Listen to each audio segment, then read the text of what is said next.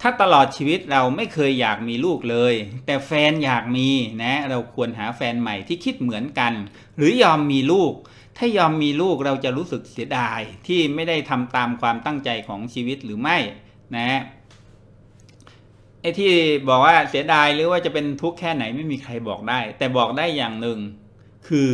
มันเสี่ยงมากๆ กับการเอาชีวิตของเด็กที่ไม่รู้อิโนอิเนเนี่ยมารับกรรมนะ คือพูดง่ายๆนะ เราไม่รู้ตัวเองว่ามีลูกแล้วเนี่ย ลูกจะทำให้เราเป็นสุขหรือว่าเป็นทุกข์โดยเฉพาะอย่างยิ่งถ้าเกิดว่าเขานะมีกรรมชนิดหนึ่งติดตัวมาเป็นประเภทที่แม่หรือพ่อไม่อยากมีลูก ไม่อยากเอาใจใส่นะ แล้วพอได้ช่องมาเกิดกับเราจริง ๆ เนี่ย มันก็จะอยู่บนเส้นทางอีหลักอีเหลือ กลืนไม่เข้าคายไม่ออกด้วยกันทั้งสองฝ่ายนะแล้วแต่แต่ถ้า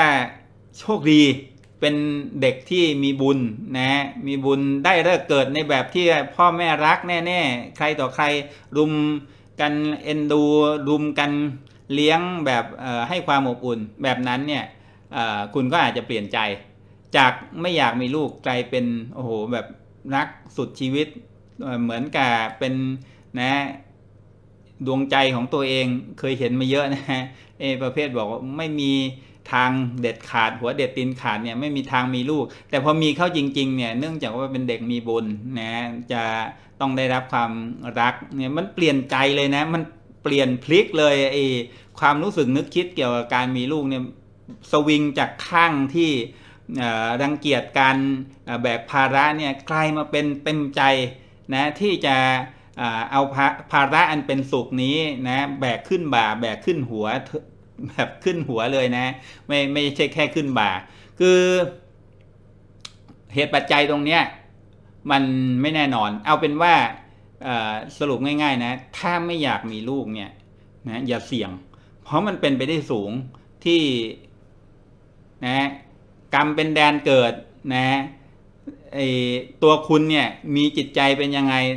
คุณก็เป็นแดนเกิดให้กับไอเด็กที่จะมาเกิดแบบนั้นนะถ้าหากว่าทั้งพ่อทั้งแม่ฝั่งชายฝั่งหญิง สามีภรรยา ต่างฝ่ายต่างเต็มใจ ต่างมีความรู้สึกเป็นสุข ต่างมีความรู้สึกรอคอย อยากจะเลี้ยงลูกเหลือเกินตัวสั่นเลยนะ แบบถ้าไม่มีลูกเนี่ยไม่ยอมนะต้องไปทำกิฟต์ต้องไปอะไรให้มันมีให้ได้อันเนี้ยก็บอกได้เป็นนิมิตหมายนะว่าเด็กที่จะมาเนี่ยจะต้องได้รับความ เอ็นดู การเลี้ยงดูแบบที่สมบูรณ์นะทั้งมีทั้งพ่อมีทั้งแม่ให้ความรักความอบอุ่น แต่ถ้าฟังใดฟังหนึ่ง ไม่เต็มใจไม่อยากมีเนี่ยอย่าฝืนดีกว่า เพราะว่าการจับคู่มันไม่ใช่เรื่องความรักอย่างเดียวนะคนเราเนี่ยรักกันได้แต่ไม่ต้องเอาเด็กมาลำบากด้วย คือรักกันแล้วก็ดูแลใจใส่กันแบบเพื่อนก็ได้นะไม่จำเป็นท่องร่วมหอ ลงโรงแบบสามีภรรยานะเพื่อที่จะมีบุตรมีธิดากันต่อไปนะครับ อันนี้ให้คำแนะนำได้แค่กว้างๆคร่าวๆนะอย่าเห็นแก่ความรักฉันชู้สาวอย่างเดียวชายชายหนึ่งหญิงหนึ่งที่จะมาอยู่ด้วยกัน เพราะว่าจริงๆแล้วจะต้องมีลูกอีกหนึ่งอีกสองอีกสามเนี่ยตามมาอยู่กับเราด้วย แล้วก็ร่วมสุขร่วมทุกข์ หรือร่วมกับไอความรู้สึกนึกคิดในแบบของเราด้วยนะ ตอนเด็กยังไม่เกิดมาเนี่ย เราตัดสินใจเลือกอะไรก็ได้ แต่เด็กเกิดมาแล้วตัดสินใจเลือกไม่ได้นะ ต้องเลี้ยงให้ดีที่สุดอย่างเดียวไม่งั้นก็จะเป็นบาปเป็นกรรมติดตัวทั้งเราทั้งเขาต่อไปนะครับ มันไม่คุ้มนะ